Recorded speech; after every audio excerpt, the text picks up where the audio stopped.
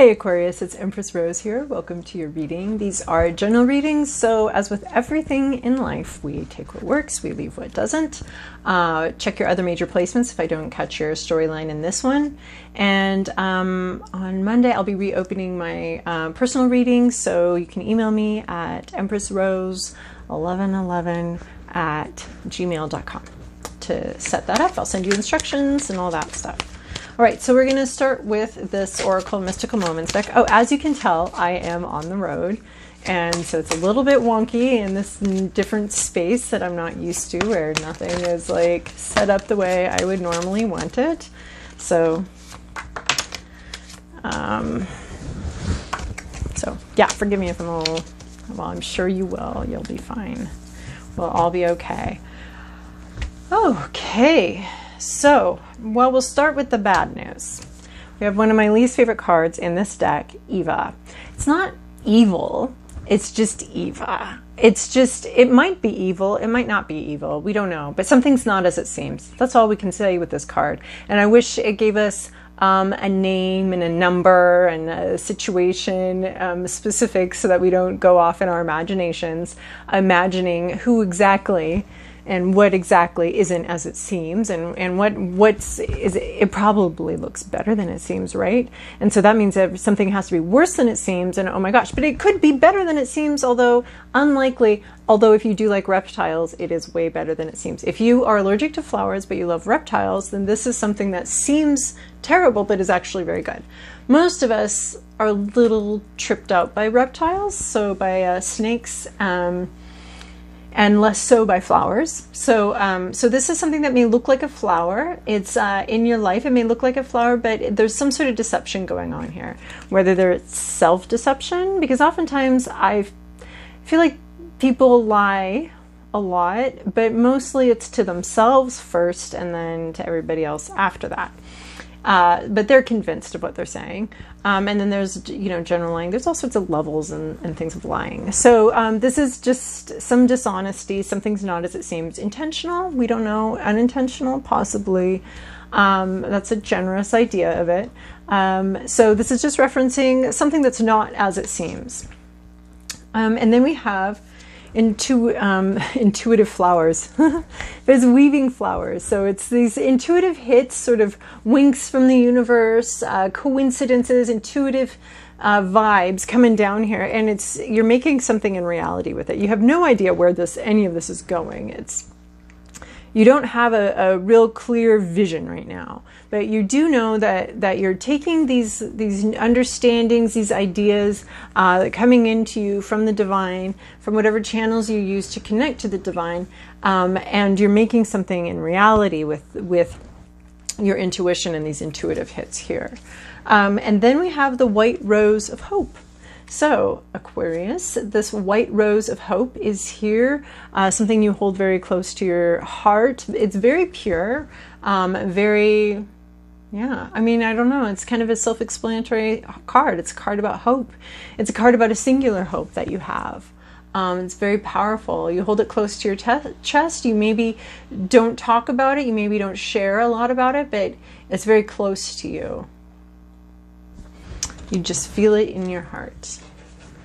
Okay, now we're going to move on to this Ethereal Visions deck for our main body of our tar tarot reading. like The straight tarot. All right, Aquarius.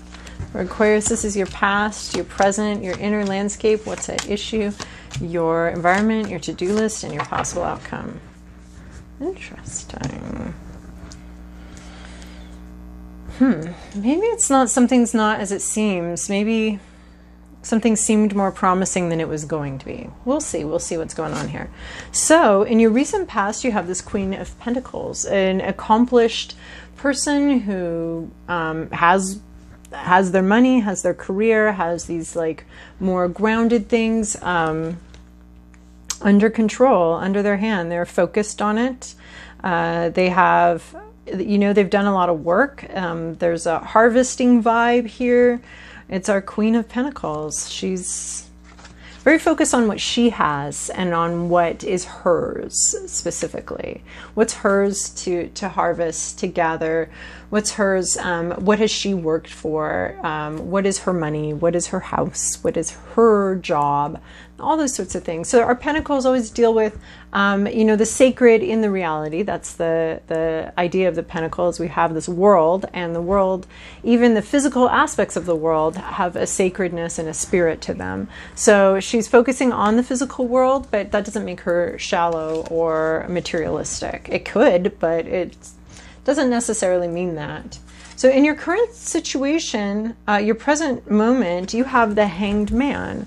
So this is um, this is human fruit, sort of ripening on the on the vine here or the branch, and um, and you're you're you're working on um, coming to an understanding, on freeing yourself, on changing your dynamic, on changing what's going on here. That's in your present moment, you or just the vibe of, of working on it. To me, this card is like um, if you're trying to undo a knot and you're sitting in your chair working really hard to undo a knot.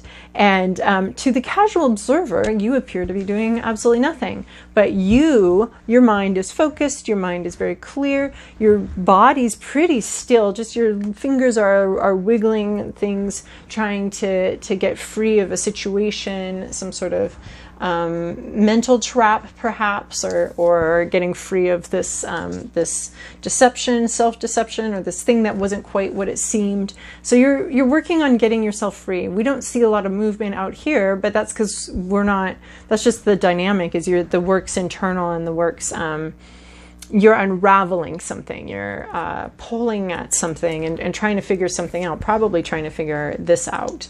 Um, but it also has the same vibe of this as far as like working with your fingers, working with your hands, um, working with strings and and moving, but she's not moving. She's probably, to the casual observer, sitting there just kind of wiggling her fingers, which is sort of what knitting and, and crocheting all kind of looks like. You're just sitting there and just just your hands are moving. So that's really funny that I feel that these cards are very similar in that way, in that um, that the the present situation um, you're figuring things out and it's changing your reality, but it hasn't changed it yet. You know, she doesn't have her finished product yet. She's just kind of um, following her her hands and how she feels and how her body feels. I mean, I think it's I'm getting such a physical vibe off of this. Maybe because we started off with this Queen of Pentacles, but just this um, this almost physical unraveling or physical creating we have unraveling and raveling, and they both kind of look exactly the same to the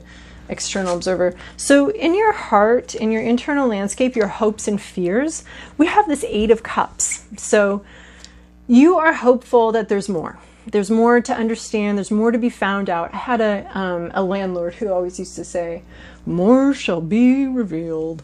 And um, well, it's true, and it's just a call to towards patience. More is going to come out, um, but here you're not just going to sit there. I mean, you are sitting there. You're sitting there. We have a lot of sitting around going on right now in this meeting, where you're sitting there and you're really starting to realize that there's something more fulfilling, and you're very you're hoping that there's something more fulfilling. Again, we have your intuition up here. We have that calling to the moon or, or seeing by moonlight, by the reflected light, by self reflection, and everything else. That these Eight of Cups to the casual observer is like, isn't that enough success? Isn't that good enough? Isn't that fulfilling enough? Aren't eight cups? Eight cups are a lot. You can't even carry eight cups in one. I mean, I think a pretty good waitress could, but um, but most of us aren't going to be very good at carrying eight cups around.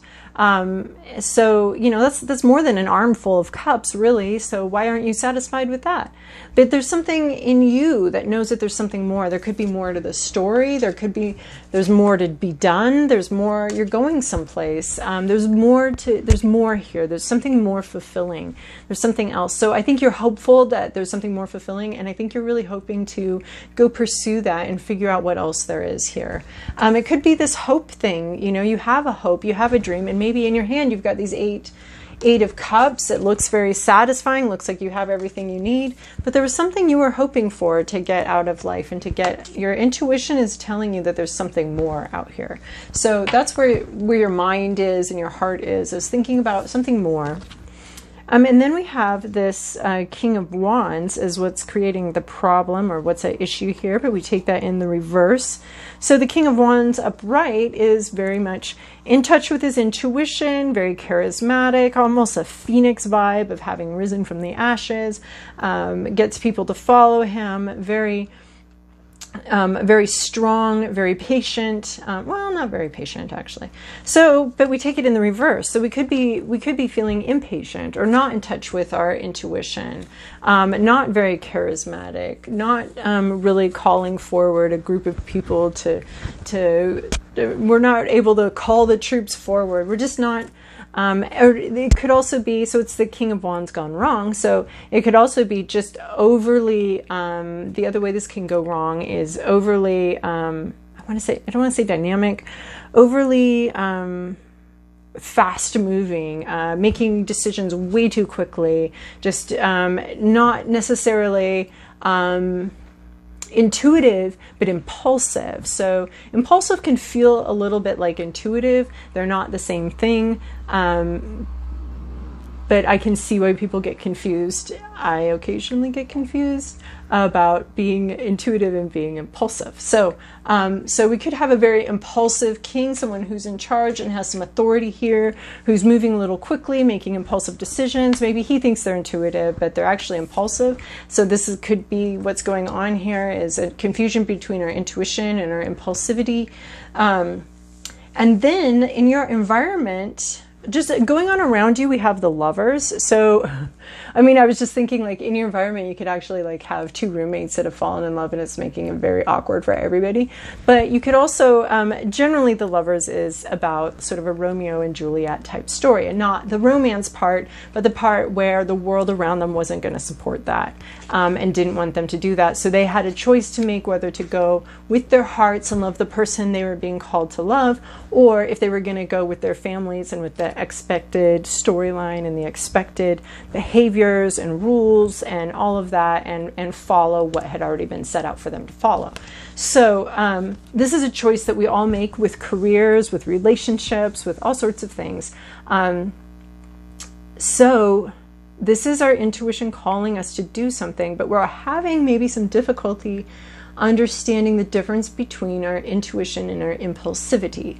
So, this is something where um, in your environment, there might be a decision and a choice to make between the spreadsheet, the thing you can defend in court, the thing that your parents, you can explain to your parents, and they'll be like, oh, yeah, that makes sense. Yeah, okay, good idea and the thing where they're going to be like, What are you crazy? And it's not going to end up on a spreadsheet. It's the type of decision that's never going to survive some sort of pro con list. It's the type of decision that is just um, seems a little nuts, but it's a difference between following your heart and following the rules.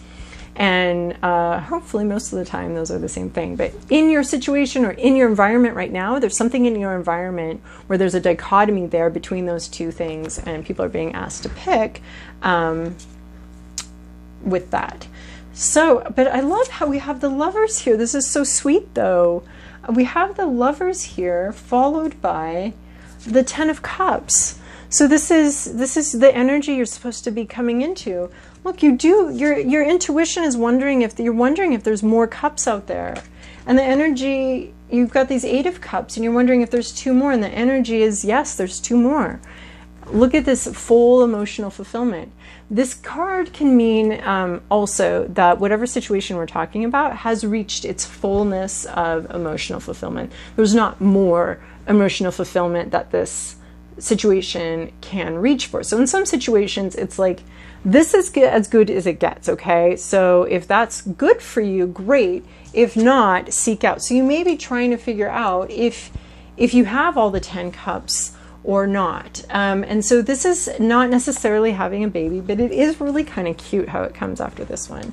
Um, it is about like the fruition and things coming to fruition, the fruition of love, the fruition of, um, you know, the baby is, is the full, um, you know, metaphorically, is the, the baby is the full expression of love, the completed love um, the completion of that love. So I feel like you're being called to pick the emotionally more emotionally fulfilling situation. If there's a choice to be made, uh, you're not going to be impulsive, but you're going to like differentiate between impulsiveness and intuition, and you're going to be going for, or you're going to be realizing the fullness of this love. So you do get the two cups. So whether you realize that your current situation actually is the full deal or that there's something else out there. And since we do have this Eva here, I'm saying I, I think that this is like a call for you to go.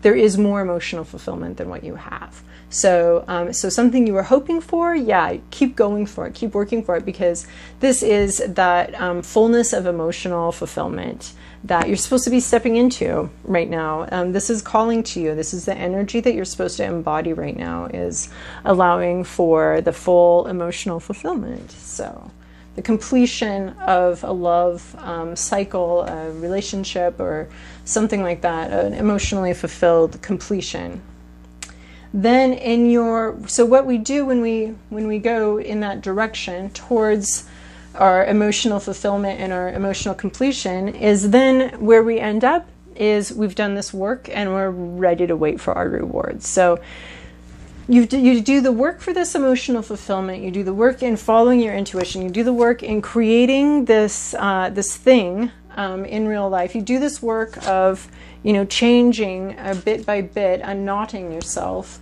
Um, you do that work, and here you are, you're waiting. You're waiting maybe a little impatiently, but you do have fruit and you have it ripening, right? So here's the fruit, the human fruit ripening, and here you are waiting for it to come to fruition. You can see literal like fruition, right? Fruition. So you can see it, you can see your fruits right there, they're right there, and all you have to do is wait for them to ripen uh, now. So you've done the untying of the knot. Huh. We usually think of marrying as tying the knot, um, but and then you wait for. So you're you're being called into some sort of emotional fulfillment, um, and then having to wait.